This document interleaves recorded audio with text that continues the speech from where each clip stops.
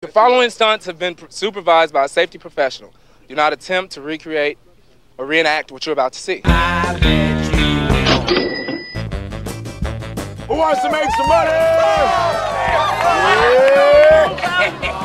Yeah. so what we're gonna have you do is take off your shoes. You're gonna take them off. You're gonna be barefoot. You're gonna walk around the streets of New York for a little bit. Okay. Then you're gonna come back and sit down, and we're gonna have you lick your own feet clean.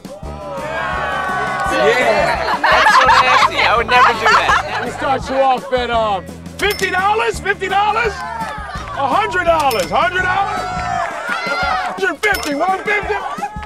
$200! She gonna do it. Give her a round of applause. $200.